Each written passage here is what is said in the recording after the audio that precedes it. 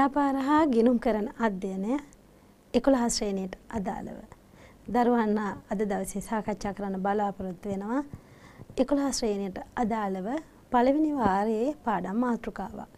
එතෙන්දී ඔබ හා සාකච්ඡා කරන්න බලාපොරොත්තු වෙන්නේ ව්‍යාපාර කරගෙන යාමේදී නැත්තම් ව්‍යාපාරිකයන්ට අදාළ වෙන උපකාරක සේවාවක් පිළිබඳව. එතෙන්දී ව්‍යාපාරිකයාට අවශ්‍ය වෙන උපකාරක නැත්නම් උපකාරී වෙන නොයෙකුත් සේවාවන් තියෙනවා. ඔබ දන්නවා බැංකු නේද බැංකු සේවාව. දැන් බැංකු යටතේ ඔබ දන්නවා මේ වෙනකොට නේද ජංගම ගිණුම් පවත්වාගෙන යන්නේ ඉතිරි කිරීම ගිණුම් පවත්වාගෙන යාම එවැනි දේවල්. එහෙමනම් එවැනිම අද දවසේ සාකච්ඡා කරන්න බලාපොරොත්තු වෙනවා ප්‍රවාහනය පිළිබඳව. එහෙනම් ප්‍රවාහන සංකල්පය හා එහි මූලිකාංග. එහෙනම් මෙයත් ව්‍යාපාරිකයන්ට වැදගත් වෙන එක උපකාර සේවාවක්. එහෙනම් උපකාර වෙන උදව් වන එක සේවාවක්. එහෙමනම් ප්‍රවාහනය කියන වචනය හවම ඔබට පැහැදිලි තියේ හරි සරලයි කියන එක නේද? ඇත්තටම මේ පාඩමේ නේද? කරුණ ඔබට මතක තියාගන්න හරි පහසුයි. නේද? එවනම් ඔබට පුළුවන් මේ අවස්ථාවේම මේ ඔබට මම පැහැදිලි කරන වෙලාව තුලදීම ඔබට මෙය හිතට අරගත්තොත් මේ පාඩම ඊතරම් අමාරු පාඩමක් නෙමෙයි. ඒකම ඔබ විසින් මේ මූලිකාංග පිළිබඳවත් ප්‍රවාහන සංකල්පයත් මූලිකාංග පිළිබඳවත් අවබෝධය ලබා ගත යුතු වෙනවා. එhmenan ඒ වගේම මේ ප්‍රායෝගිකව ඔබට නේද? අසන්න, දකින්න ලැබෙන පාඩම් මාතෘකාවක්. එහෙමනම් දරුවනේ මොකද්ද මෙන්න මේ ප්‍රවාහනය කියලා කියන්නේ කියන එක අපි බලමු මුලින්ම. ඔබට පේනවා නේද? ඔබට තිරේ දිහා දුටුවම දකින්න පුළුවන්. නේද? ප්‍රවාහන සේවා නොයෙකුත් ප්‍රවාහන සේවාවන්. නේද? එහෙනම් මොකද්ද මේ ප්‍රවාහන සේවාවන් කියලා කියන්නේ? මිනිසුන් හා භාණ්ඩ එක් ස්ථානයක සිට තවත් ස්ථානයකට රැගෙන යාම ප්‍රවාහනයයි. එහෙමනම් ඔබ හා මේ සාකච්ඡා කර මේ වචනය මම සරලයි කියලා කිව්වා. එහෙමනම් එහි අදහස ඇත්තටම මිනිසුන් හා භාණ්ඩ එක් ස්ථානයක සිට තවත් ස්ථානයකට රැගෙන යාම. නේද? එහෙමනම් මෙන්න මේ කොයි ආකාරයෙන් හෝ රැගෙන යාම තමයි මෙතෙන්දී ප්‍රවාහණය කියලා අදහස් වෙන්නේ. නේද? එහෙමනම් මිනිස්සු විතරක් ට්‍රාන්ස්පෝර්ට් නැත්නම් මිනිස්සු විතරක් එහා මෙහා ගෙනියන එක නෙමෙයි. ඒකම භාණ්ඩ හා සේවාවත් නේද? මෙතෙන්දී භාණ්ඩ නේද? සේවා කිව්වම මිනිසුන්ගේ සේවාව වැදගත් වෙනවා. එහෙනම් භාණ්ඩයි මිනිසුන්යි කියන මේ සියලු දේවල් අදාළ වෙනවා එහෙනම් ප්‍රවාහණයට. නේද? එහෙනම් එහා මෙහා ගෙන යන එක තමයි මෙතෙන්දී ප්‍රවාහණය කියලා අදහස් වෙන්නේ. එහෙමනම් ඔබට පැහැදිලි ඇති සරලව ප්‍රවාහණය කියන්නේ කුමක්ද කියලා. නේද? එහෙනම් මොකද්ද ප්‍රවාහණය කියලා කියන්නේ? නේද? මගින් හා භාණ්ඩ එක් ස්ථානයක සිට තවත් ස්ථානයකට රැගෙන යාම. නේද? එහෙමනම් එහා මෙහා ගෙනියන එක. ඉතින්දී අදහස් වෙන්නේ නේද? ප්‍රවාහණය කියලා. එහෙනම් ඔබට වචනය දැන් එහෙමනම් ප්‍රවාහන සංකල්පය පිළිබඳව යම් අදහසක් ඇති. නේද? ප්‍රවාහන සංකල්පය නැත්තම් ප්‍රවාහණය කියන වචනය පිළිබඳව අදහසක් ලැබුණා නම් අපි බලමු ඉහාට ප්‍රවාහන මූලිකාංග කියන්නේ මොනවද කියලා. මොනවද ප්‍රවාහන මූලිකාංග කියලා කියන්නේ? මේ ඔබ දකින්නේ ප්‍රවාහන මූලිකාංග. බලන්න ඉහළින් දකින්න පුළුවන් ඔබට. මාර්ගය, ඒ කියන්නේ මාර්ග නේද? මාර්ග දකින්න පුළුවන්. ඔබට දකින්න පුළුවන් කෝච්චි යන පාරවල්, බස් යන පාරවල් නේද? ඊළඟට මුහුදු, මුහුදු මාර්ග, ඊළඟට ওই වගේ ඊළඟට ගුවන් මාර්ග නේද? මාර්ගය දකින්න පුළුවන්. එහෙමනම් ප්‍රවාහනයක මූලිකාංගයක් තමයි මෙන්න මේ මාර්ගය කියලා කියන්නේ. මාර්ග එක් මූලිකාංගයක්. මොකක්ද එහෙමනම් මාර්ගය කියන්නේ? ප්‍රවාහනය යන, ඒ කියන්නේ ප්‍රවාහනය ගමන් කරන එම ශේෂ්ත්‍රය නැත්නම් එම ශේෂ්ත්‍රය නැත්නම් ඒ ශේෂ්ත්‍රපතේ අපි හඳුන්වනවා මෙතෙන්දී ප්‍රවාහන මූලිකාංගයක් ලෙස මාර්ගය විදියට. නේද ඔබට හඳුනා ගන්න පුළුවන් දැන්. ඊළඟ පින්තූර වලින්ම ඔබ ඒකම ඔලුවට ගන්න. එතකොට ඔබට මෙය තවත් හොඳට මතක හිටියි. ඊළඟට බලන්න දරුවනේ තව ප්‍රවාහන මූලිකාංගයක් තමයි මාධ්‍ය.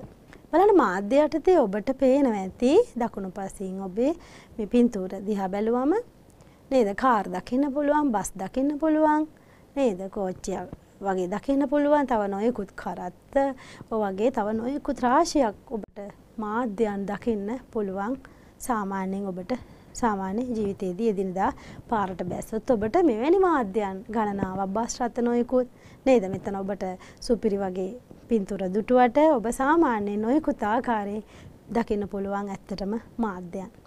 එහෙමනම් ප්‍රවාහන මූලිකාංග තමයි මෙන්න මේ එකක් තමයි එහෙමනම් මෙන්න මේ මාධ්‍ය නේද? එහෙනම් මාධ්‍ය හඳුනා ගන්න පුළුවන් කුමක්ද මාධ්‍ය? එහෙමනම් මාර්ගය කියන්නේ මේ මාධ්‍යයන් යන මාවත නේද? ඒ මාර්ගය. එහෙමනම් මාධ්‍ය කියන්නේ කුමක්ද යොදා ගන්න ප්‍රවාහන නේද? උපකරණය කියන එක. එහෙමනම් මාධ්‍ය එකක් මාර්ගය එකක්. මේ දෙකම එහෙමනම් ප්‍රවාහන මූලිකාංග දෙකක්. ඊළඟට අපි බලමු. තවත් ප්‍රවාහන මූලිකාංගයක් තමයි යටින් දකින්න පුළුවන් ඔබට බලය. මොකද්ද මේ බලය කියලා කියන්නේ? මේ මාර්ගවල මාධ්‍යයන් මගින් යන්න නම් බල ශක්තිය අවශ්‍ය වෙනවා කුමක් හෝ බලයක් අවශ්‍ය වෙනවා. කො විදුලි බලයක් වෙන්න පුළුවන් නේද? ඊළඟට පෙට්‍රල් වෙන්න පුළුවන්, ඩීසල් වෙන්න පුළුවන් නේද? ওই වගේ නොයෙකුත් බල ශක්තියන් අවශ්‍ය වෙනවා මෙන්න මේ ප්‍රවාහනය සඳහා මාධ්‍යයන් යොදා ගැනීමේදී. එහෙමනම් ප්‍රවාහන මූලිකාංග තමයි මාර්ගය, මාධ්‍ය, බලය. නේද? තවත් එකක් තමයි එහෙමනම් පර්යන්තය. එමනම් ප්‍රවාහන මූලිකාංග හතරක් ඔබට හඳුනා ගන්න පුළුවන්. මොකද්ද මේ පර්යන්තය කියලා කියන්නේ? පර්යන්තය කියලා ඔබට හඳුනා ගන්න පුළුවන් කුමක්ද? පර්යන්තය කියලා කියන්නේ එම මාධ්‍යයන් නවතා තබන ඒ කියන්නේ ස්ථාන හඳුන්වනවා පර්යන්ත කියලා. නේද? එහෙමනම් හොඳින් මතක තියාගන්න ප්‍රවාහන මූලිකාංග මොනවද කියන එක. නේද? ඒ කියන්නේ එකක් තමයි මාර්ගය ඊළඟට පර්යන්තය නේද? ඊළඟට මාධ්‍ය ඊළඟට බලය. ඊළඟට එහෙමනම් විවිධ වූ මාධ්‍යයන් වලින් ප්‍රවාහනය මාර්ග විවිධ මාර්ග ඔස්සේ ප්‍රවාහනය කරන්න අවශ්‍ය වෙනවා බල ශක්තිය. ඒකම ඒවා ගාල් කරගන්න නැත්නම් ඒවා නවතා තබන ස්ථාන තියෙනවා පර්යන්තය කියලා හඳුනා ගන්නවා. එහෙමනම් දරුවනේ දරුවන්ට දැන් පැහැදිලි ඇති. නේද? ප්‍රවාහන මූලිකාංග කියන්නේ මොනවද කියලා. එහෙමනම් මාර්ග යටතේ අපි බැලුවොත් නේද? මාර්ග යටතේ අපි බැලුවොත් ප්‍රවාහනය මහා මාර්ගය. එතකොට මහා මාර්ගය තුල මොනවද මාධ්‍ය විදියට යොදා ගැනෙන්නේ? බස් රථ යනවා නේද? කාර් යනවා. ඊළඟට කරත්ත යන්න පුළුවන්. බයිසිකල්. මේවා තමයි මාධ්‍යයන්. ඊළඟට ඒවට යන බල ශක්තිය. නේද? පෙට්‍රල්, ඩීසල් ඔය භාවිතා කරනවා. ඊළඟට විදුලිය නේද? සමහර මේ රථ වාහන සඳහා එනම් මෙන්න මේවා භාවිතා කරනවා බල ශක්තිය විදියට. ඊළඟට ඒ රථ මේ බස් රථ ඊළඟට මෝටර් බයිසිකල් වෙන්න පුළුවන් නේද? ඊළඟට වෑන් රථ වෙන්න පුළුවන්. එහෙනම් මේ සඳහා පර්යන්ත ඊළඟට විශේෂයෙන් බස් රථ සඳහා නේද? පර්යන්තයක් විදිහට හඳුනා ගන්න පුළුවන්. බස් නැවතුම් පොළ. ඊළඟට ඔය ආකාරයෙන් අපි තවත් බැලුවොත් දැන් කෝච්චිය. එතෙන්දී කෝච්චි පාර මාර්ගය නේද? එහෙමනම් මාධ්‍ය තමයි එතෙන්දී කෝච්චිය හඳුනා ගන්න පුළුවන්. එතෙන්දී දුම් කෝච්චි වෙන්න පුළුවන් නේද? විදුලි කෝච්චි වෙන්න පුළුවන්. ওই වගේ නොයෙකුත් ඒවා තමයි මාධ්‍යයන්. මේ සඳහා බලය එහෙමනම් මොකද්ද? බල ශක්තිය. විදුලිය වෙන්න පුළුවන් නේද? ওই වගේ පැරණි කාලේ ඔබ දන්නවනේ නේද ගල් අඟුරු කෝච්චි ওই වගේ දකින්න පුළුවන් එහෙනම් බලය මේවා. ඊළඟ මේ තින්දි පර්යන්තය කියලා හඳුනාගන්නේ කුමක්ද? දුම්රිය නැවතුම් පොළ. නේද? උන් ඔය ආකාරයේ දැන් ඔය අපි කීපයක් හඳුනාගත්තා විතර ඔබ දකින ඔය රූපරාම තුල. ඊළඟට ඒකම් බලන්න අහස යානේ. ඉතින්දී අහස් ගුවන් මාර්ග මාර්ගය නේද ගුවන් යන මාර්ග තියෙනවා. ඊළඟට යහස් යන්නේ නැත්නම් ගුවන් යානය. ඉතින්දි ගුවන් යානයට අවශ්‍ය වෙනවා බලය ඒ වගේම පර්යන්තය නේද? ගුවන් තොටුපළ නේද? ඒවට අවශ්‍ය වෙන තෙල් මේ ආකාරයට අවශ්‍ය වෙනවා. ඊළඟට ඒ වගේම තමයි බලන්න තව නැව් ගත්තොත් එය මාධ්‍යයක්. ඊළඟ නැව් මාර්ගය නැව් ගමන ගමන් කරන මාර්ගය තමයි එතෙන්දී මාර්ගයේ විදිහට හඳුනාගන්නේ. ඊළඟට ඒකට අවශ්‍ය වෙනවා එතෙන්දී බලය නේද? තෙල් අවශ්‍ය වෙනවා ඒට බල ශක්තිය. ඊළඟට පර්යන්තය කියලා කියන්නේ එහෙමනම් නවතා තබන ස්ථානය. නේද? වරාය නේද? ඒ නැව් තොටුපළවල් එතෙන්දී හඳුනා ගන්න පුළුවන්. උන ඔය ආකාරයට පුළුවන් දරුවනේ අපිට ප්‍රවාහන මූලිකාංග හතර උදාහරණ සහිතව ওই විදිහට හඳුනා ගන්න ඕනෑම ප්‍රවාහන මූලිකාංගයකට ඇතුළත් කරන්න පුළුවන් යම් වාහනයක් ඒ සඳහා යන නේද? ඒ මූලිකාංග හතරට. ඒක උදාහරණයක් අරගෙන. දැන් එහෙනම් දරුවන්ට දැන් පැහැදිලි ඇති. ප්‍රවාහන මූලිකාංග හතර. කුමක්ද ප්‍රවාහන මූලිකාංග හතර? මාර්ගය, මාධ්‍ය නේද? බලය සහ පර්යන්තය. එවනම් දරුවන්ට දැන් පැහැදිලි ඇති ප්‍රවාහන මූලිකාංග. අපි බලමු දරුවනේ පළවෙනි ප්‍රශ්නයට මෙතෙක් සාකච්ඡා කර තොරතුරු ඇසුරින් පිළිතුරු සපයන්න පුළුවන්ද කියලා ප්‍රශ්න අංක 1 මෑතකදී මාර්ග තදබදය අඩු කිරීම සඳහා අධිවේගී මාර්ග අලුතින් ඉදිකරන ලදී. එය අයත් වන ප්‍රවාහන මූලිකාංගය වන්නේ. එමනම් ඔබ දන්නවා අධිවේගී මාර්ගය නැත්නම් නේද? ඔබ හඳුනාගෙන ඇති අධිවේගී මාර්ගයනේ හයිවේ කියලා ඔබ. සමහර විට සැවම නැති වුණොත් ඔබ. නේද? කවුරු හෝ මේ ගිහිල්ලා ඇති කියන්නේ පවුලේ කෙනෙක් හෝ මේ එහෙමනම් මෙන්න මේ එහෙම නැත්නම් ඔබ. නේද? රූපවාහිනිය තුලින් හෝ දැකලා ඇති එවනම් අධිවේගී මාර්ගයේ මේ අලුතින් ඉදි කරේ නේද එහෙනම් එය අයත් වෙන ප්‍රවාහන මූලිකාංගේ වන්නේ ඔබ දන්නවා ප්‍රවාහන මූලිකාංග හතර එහෙමනම් ඒ හතරෙන් කොයි එකටද අයිති වෙන්නේ මෙන්න මේ අධිවේගී මාර්ගය අලුතින් ඉදි කරන ඔබ දන්නවා මෙන්න මූලිකාංග හතර. මෙයින් කුමකටද අයිති වෙන්නේ කියලා හිතන්න පුළුවන්ද? නිවැරදි පිළිතුර මාර්ගය නේද? ඒ කියන්නේ එහෙමනම් අධිවේගී මාර්ගය අයිති වෙන්නේ. ප්‍රවාහන මූලිකාංගය තමයි මාර්ගය. එහෙනම් ඔබට පැහැදිලි ඇති. එහෙමනම් දරුවනේ අපි තවදුරටත් යමු. ප්‍රවාහන මූලිකාංග පිළිබඳව ඔබ දැන් දැනුවත් ඇති. ඊළඟට අපි බලමු ඊළඟ කොටස සුදුසු ප්‍රවාහන ක්‍රම තෝරා ගැනීමේදී බලපාන සාධක. ඒ කියන්නේ ප්‍රවාහන කුමකටද තෝරා ගැනීම අවශ්‍ය වෙන්නේ? ප්‍රවාහන තෝරා ගැනීම අවශ්‍ය වෙනවා මගීන්ට එහා මෙහා යන්න නේද? ඒ එක්කම ව්‍යාපාර කටයුතු වලදී භාණ්ඩ ප්‍රවාහනය කරන්න. ඒ වගේම ව්‍යාපාර කටයුතු සඳහා සේවකයන් ප්‍රවාහනය කරන්න. ව්‍යාපාර කටයුතු සඳහා නේද? අවශ්‍ය වෙලාවට අවශ්‍ය භාණ්ඩ ෂණිකව ලබා ගන්න ඕන වෙනවා නේද? ඒවා හොඳ ආකාරයෙන්ම. ඊළඟට ඒවට හානියක් නොවි ලබා ගන්න පුළුවන් වෙනවා. ඉතින් මෙන්න මේ වගේ නොයෙක් ආකාරය ඊළඟට මගින් බැලුවොත් කලට වේලාවට ඔවුන් ගෙන්වා ගැනීමට අවශ්‍ය වෙනවා. ඊළඟට ඒ වගේම ඔවුන් කලට මේ ඔවුන් නික්මෙනකොට ඔවුන්ට එම පහසුකම අවශ්‍ය වෙනවා. උන් ওই ආකාරයට ප්‍රවාහනය වැදගත් වෙනවා. එහෙමනම් දැන් ව්‍යාපාර ශාස්ත්‍රයක් එක්ක අපි බොහෝ දුරට මේ ප්‍රවාහනය සාකච්ඡා කරන්න එහෙමනම් එතෙන්දී. සුදුසු ප්‍රවාහන ක්‍රම තෝරා ගැනීමේදී මොනවද සලකා බලන්න ඕන? එහෙම නැත්නම් මොනවද බලපාන සාධක කියන එක අපි ඉදිරියේදී සාකච්ඡා කරන්න බලාපොරොත්තු වෙනවා. එහෙනම් මොනවද මෙතෙන්දී වැදගත් වෙන සාධක? බලන්න එකක් තමයි භාණ්ඩේ ස්වභාවය. ඒ කියන්නේ භාණ්ඩේ ස්වභාවය වැදගත් වෙනවා. භාණ්ඩේ ස්වභාවය කියන්නේ කුමක්ද? සමහර වෙලාවට භාණ්ඩ බිඳෙන සුළු. ඉවැනි භාණ්ඩ තියෙන්න පුළුවන්. ඊළඟට ඊටාම වටිනාකම වැඩි භාණ්ඩ තියෙන්න පුළුවන්. ඊළඟට ප්‍රමාණයෙන් විශාල වූ භාණ්ඩ තියෙන්න පුළුවන්. නේද? බර අධික එවැනි භාණ්ඩ. ওই වගේ භාණ්ඩවල ස්වභාවය ඒ කියන්නේ ඉක්මනින් නැශ්‍ය වෙන නරක් වෙන භාණ්ඩ තියෙන්න පුළුවන්. ඉක්මනින් ප්‍රවාහනය කළ යුතු වෙන්න පුළුවන් නේද? මාළු වගේ දේවල් බලන්න ඊළඟට අලුත් මේ ස්වභාවික මල් වගේ ඒවා. එනම් මේවා නේද? ඉක්මනින්ම ප්‍රවාහනය කළ යුතු වෙනවා. ඊළඟට විශාල ප්‍රමාණි වාහන, ඊළඟට යන්ත්‍ර එවැනි භාණ්ඩ වෙන්න පුළුවන්.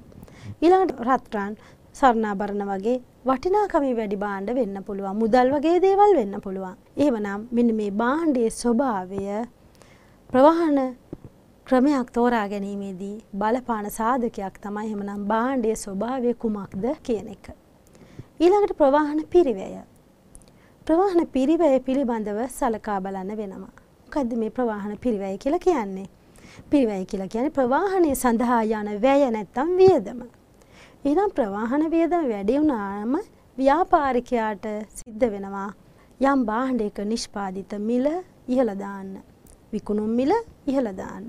එහෙමනම් බොහෝ දුරට ව්‍යාපාරිකයෙකු සිදු කරන්න ඕන ප්‍රවාහන පිරිවැය අඩු කර ගැනීම නේද? ඔහු සතු පිරිවැය වර්ග අඩු කර ගැනීමෙන් තමයි ඔහුට ලාභයක් ලබා ගන්න පුළුවන් වෙන්නේ. එහෙමනම් සුදුසු ප්‍රවාහන ක්‍රම තෝරා ගැනීමේදී බලපාන තවත් සාධකයක් තමයි ප්‍රවාහන පිරිවැය. ඊළඟට ධාරිතාව. ධාරිතාව කියන්නේ කුමක්ද? ධාරිතාව කියන්නේ ඒ එහි සමහරට බර අධික වෙන්න පුළුවන් නේද? විශාල වශයෙන් භාණ්ඩ වෙන්න පුළුවන් නේද? බර අඩු භාණ්ඩ වෙන්න පුළුවන්. එහෙනම් ඒ වෛධාරිතාව ඒ කියන්නේ ඒවට ඒ ප්‍රමාණයන් මෙතෙන්දි වැදගත් වෙනවා. ආරක්ෂාව. ආරක්ෂාවත් නේද වැදගත් වෙනවා සමහර භාණ්ඩ ඉතාම ආරක්ෂාකාරී ලෙස ප්‍රවාහනය කළ යුතු වෙනවා. එහෙනම් ආරක්ෂාව ගැන සැලකිලිමත් වෙන්න ඕන. ඒ වගේම මෙන්න මේ ප්‍රවාහන ක්‍රමයක් තෝරගන්නකොට ස්වභාවය ගැන සැලකිලිමත් වෙන්න ඕන. ප්‍රවාහන පිරිවැය ගැන සැලකිලිමත් වෙන්න ඕන. ධාරිතාව ගැන සැලකිලිමත් වෙන්න ඕන. ඒ වගේම ආරක්ෂාව ගැන සැලකිලිමත් වෙන්න ඕන. ඊළඟට වේගය. වේගයයි වැදගත් වෙන්නේ. ඉක්මනින් කලට වෙලාවට භාණ්ඩ හා සේවා ලබා ගත යුතුයි. නේද? මගින්ගේ සේවය ලැබ ඒ කියන්නේ මගින් ගෙන්න ගන්න ඕන වෙයි. නැත්නම් ඒ සඳහා කාර්ය මණ්ඩලය ගෙන්න ගන්න ඕන වෙයි. ඊළඟට භාණ්ඩ එහා මෙහා ගෙනියන්න, නිෂ්පාදිත එහා ගෙනියන්න. එහෙනම් මේ සඳහා වේගය කියන එක වැදගත් වෙනවා. සුලභතාවය. එහෙනම් කොයි තරම් දුරට ප්‍රවාහන ක්‍රමය තෝරාගත හැකිද? සුලභව පවතීද?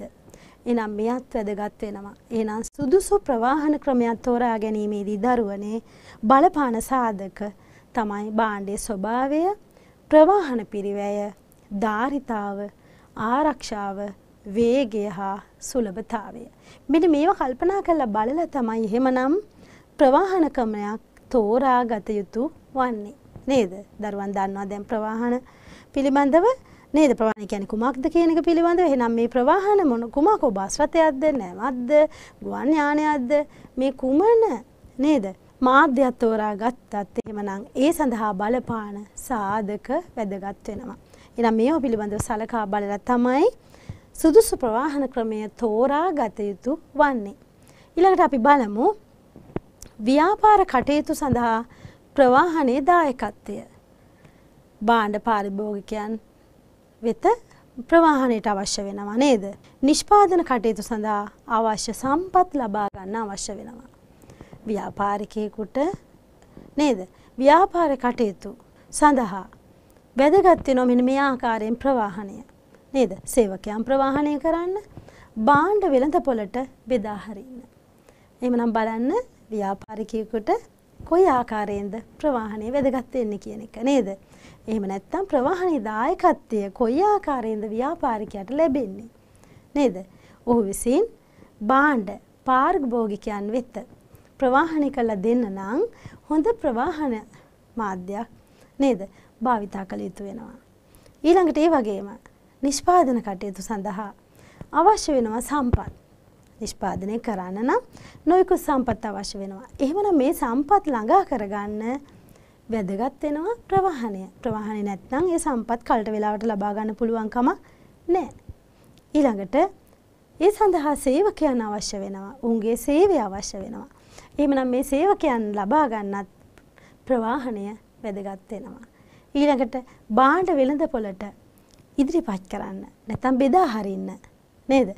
මේ සඳහාත් එහෙමනම් ප්‍රවාහනය වැදගත් වෙනවා. එහෙමනම් දරුවන්ට පැහැදිලි ඇති ව්‍යාපාරිකයෙකුට කොයි ආකාරයෙන්ද ප්‍රවාහනය වැදගත් වෙන්නේ කියන එක. නේද? එවනම් සරලයි නේද ප්‍රවාහනය ඔබට මාතෘකාවේ නම් මේ යටතේ ඔබ දැනගත යුතු වන්නේ ප්‍රවාහන මූලිකාංග පිළිබඳව ව්‍යාපාරිකයට කොහොමද වැදගත් වෙන්නේ නේද? ඊළඟට ප්‍රවාහන ක්‍රමයක් තෝරා ගැනීමේදී මොනවද සලකා බලන්න ඕන කරුණු ඔන්නෝවා තමයි එහෙමනම් මේ පාඩම තුල ඇත්තම ඔබ තේරුම් ගත යුතු වෙන්නේ. එහෙමනම් දරුවනේ මෙතෙක් මේ සාකච්ඡා කර තොරතුරු ඇසුරෙන් අපි බලමු ඔබට දෙවැනි ප්‍රශ්නයට පිළිතුරු සපයන්න පුළුවන්ද කියලා. විදේශ රටක සිට බෙහෙත් තොගයක් ප්‍රවාහනය කිරීමට සුදුසු ප්‍රවාහන මාධ්‍ය කුමක්ද? එහෙමනම් පිටරටක සිට බෙහෙත් තොගයක් ප්‍රවාහනය කරන්න මාධ්‍ය අහන්නේ. ඔබ දැන් මාධ්‍ය දන්නවා. අපි මාධ්‍යත් එක්කම සාකච්ඡා කරමු බලන මාර්ගයයි එක්කම විදේශ රටක ඉඳලා බෙහෙත් ගේනවා නම් ඒක ඉක්මනින් ගේන්න වෙනවා නේද? අනික ඒක සැහැල්ලුයි නේද බෙහෙත් ද්‍රව්‍ය. ඉක්මනින් ආරක්ෂාකාරී ලෙස නැශ්‍ය වෙන්නට පෙර නරක් වෙන්නට පෙර දින පනින්නට පෙර ළඟා කර යුතු වෙනවා. සමහරට හදිසි ලෙඩුන් සිටිනවා නම් ඊටාම ඉක්මනින් ඒක ගේන සිද්ධ වෙනවා. එහෙමනම් කුමක්ද ප්‍රවාහන මාධ්‍ය ඔබ හිතන්නේ? පිළිතුර තමයි ගුවන් යානය. ඒ ගුවන් යානෙ මෙය ඉක්මනින් ගේන්න පුළුවන්. නේද? ඒ කියන්නේ එහෙමනම් කලට වෙලාවට මෙය ලබා දෙන්න පුළුවන් වෙයි. ඒකම මෙය සැහැල්ලු නේද භාණ්ඩයක්. ඊළඟට එහෙමනම් මේ අහන්නේ ඔබේ මාධ්‍ය. නේද? එහෙමනම් මාර්ගය කුමක්ද? ගුවන් මාර්ගය නේද? ඊළඟට ඒකට ඒකට යොදන බලය ඊළඟට පර්යන්තය. ඔබ අන්නේ වෙන්නේ දේවල් ඔබ හිතන්න සිද්ධ වෙනවා නේද? බලය මොනවද? මේට අය පර්යන්තය කුමක්ද? අර ඒකම ඔබට එතකොට පැහැදිලි වෙනවා එහෙමනම් මේ ප්‍රවාහනය කියන මාතෘකාව. එහෙමනම් දරුවනේ අපි බලමු මින් ඉදිරියට. තවත් කොටසක් ප්‍රවාහනය සම්බන්ධයෙන් වැඩිදුරටත් දැනුවත් වීමට. ප්‍රවාහන මාර්ග පද්ධති. එහෙනම් අපි මේ මෙතෙක් සාකච්ඡා කරේ අපි හඳුනා ගනිමු. එකක් තමයි ගොඩබිම් යටතේ මහා මාර්ග දුම්රිය තියෙනවා ඊළඟට ගුවන් මාර්ග අභ්‍යන්තර තියෙනවා බාහිර තියෙනවා ඊළඟට ජල අභ්‍යන්තර තියෙනවා ඊළඟට සාගර දකින්න පුළුවන් එහෙනම් බලන්න ප්‍රවාහන මාර්ග පද්ධතිය ඔන්න ඔය ආකාරයට තමයි ප්‍රවාහන මාර්ග පද්ධතිය සැකසීලා තියෙන්නේ. එහෙමනම් ඔබට මේ ගැලීම් සටහන ඔය එක්කම මතකයේ තබා ගන්නත් බලන්න පහසු කරගන්න අපහසුවක් නැතුව ඇති ප්‍රවාහන මාර්ගය මෙතෙන්දි දකින්න පුළුවන් පද්ධතිය තුන් ආකාරයකට ගොඩබිම් ගුවන් ජලය. ගොඩබිම් තියෙනවා ඔබ දන්නවා ගොඩබිම මහා මාර්ග නේද බස් රථ. යනවා මහා මාර්ග තුල දුම්රිය මාර්ග තියෙනවා ඒ තුල දුම්රිය ගමන් කරනවා. ගුවන් අභ්‍යන්තර යනවා බාහිර. ඒ කියන්නේ විදේශ රටවලට යාම යනවා තියෙනවා අභ්‍යන්තර රට ඇතුළත යනවා ගුවන් මාර්ගය ජලය අභ්‍යන්තරව. ඒ කියන්නේ ඇලදොල ගංගාවල දකින්න පුළුවන් මේ බෝට්ටෝබ ඊළඟට එවැනි දේවල් දකින්න පුළුවන් පාරු වගේවා ඊළඟට ජලයේ සාගර නැව් වගේ දේවල් එතෙන්දි දකින්න පුළුවන්. එහෙමනම් පැහැදිලි ඇති ඔබට ප්‍රවාහන නේද මාර්ග පද්ධතිය පිළිබඳව. එහෙනම් මෙන්න මේ ප්‍රවාහන මාර්ග පද්ධති සම්බන්ධයෙන් අපි බලමු මෙන්න මේ ආකාරයට අපි මේවා වෙන් කරගමු. පහත දැක්වෙන විවිධ ප්‍රවාහන ක්‍රමවල දැකිය හැකි වාසි හා අවාසිදායක කරුණු කීපයකි. ඒ ඇසුරින් පහත සඳහන් වගුව පුරවන්න. එහෙමනම් මෙතෙන්දී අපි සාකච්ඡා කරනවා වාසිසහගත සහ අවාසිසහගත කරුණු කීපයක්. ඒ තුලින් අපි බලමු. එනම් පහත වගුවක් දීලා තියෙනවා නම් අපි එය පුරවන්න. ගමනාන්තය දක්වා යා හැකිවීම. එහෙනම් ගමනාන්තය දක්වා යන්න පුළුවන්. කවර මාර්ගයකින්ද කියලා අපි හිතන්න වෙනවා. ඕනෑම වේලාවක යොදාගත හැකිවීම. ඊළඟට එකවර බාණ්ඩ හා මගින් විශාල ප්‍රමාණයක් ප්‍රවාහනය කළ හැකිවීම. ඊළඟට වේගවත් බව. ඊළඟට මගේ සුව පහසුව තිබීම. ඊළඟට සාපේක්ෂව පිරිවැකැන් තවත් එකක් සාපේක්ෂව පිරිවැය අඩුවීම ගැන වෙනත් ප්‍රවාහන මේ මාර්ගයක් එක නැත්නම් මාධ්‍යයක් එක බලනකොට මෙහි පිරිවැය අඩුවීම කියන එක මෙතෙන්දී අදහස් වෙන්නේ. මාර්ග අනතුරු වැඩිවීම. තෙන්දිත් තවත් දෙයක් එක සසඳනකොට මාර්ග අනතුරු වැඩිවීම බරින් වැඩි ද්‍රව්‍ය ප්‍රවාහනය කළ හැකිවීම. එහෙනම් බරින් වැඩි ඒවා ප්‍රවාහනය කළ හැකි වෙන්න ඕන. දුරගමන් සඳහා යෝග්‍ය වීම. ජාත්‍යන්තර වෙළඳාම සඳහා පිටුවහලක් දැන් ඔබට පැහැදිලි වෙන්න ඕන මේ එකම කුමක්ද මේ සඳහා එන්නේ එහෙමනම් කියන එක. මාර්ග තදබදය ඇතිවීම ඔබ දකිනවා මාර්ග තදබද වර්තමානයේදී. බාණ්ඩ හා මගේ ප්‍රවාහනයට දින ගණන් යාම. පිරිවැය අධික වීම. ඉස්සෙල්ලා පිරිවැය නේද? අඩු වීම ඊළඟට අධික වීම දැන් තියෙනවා. සෑමයටම යොදාගත නොහැකි වීම. අනතුරකදී විනාශය වැඩි වීම. පරිසර දූෂණයට බලපෑම. ගමනාන්තය දක්වා යොදාගත හැකි වීම. ඊළඟට ගමනාන්තය දක්වා සමහර ප්‍රවාහන මාධ්‍යයන් යොදා ගන්න බැහැ. ඒකයි නොහැකි වීම. රට පුරා විහිදුණු මාර්ග පද්ධතියක් තිබීම. ඒ කියන්නේ සමහර ඒවා රට පුරා විහිදිලා නැහැ නේද? සමහර මාධ්‍යයන්. බරින් වැඩි ද්‍රව්‍ය ප්‍රවාහනයට අපහසු වීම. නේද? බර වැඩි ඒවා. එහෙනම් මෙන්න මේකට අපි යොදාගෙන බලමු එහෙමනම් එකින් එක. ප්‍රවාහන වර්ගය වාසි සහ අවාසි. මහා මාර්ග බලන්න මහා මාර්ගවල ප්‍රවාහනය. වාසියක් තමයි ගමනාන්තය දක්වා යා හැකිවීම නේද.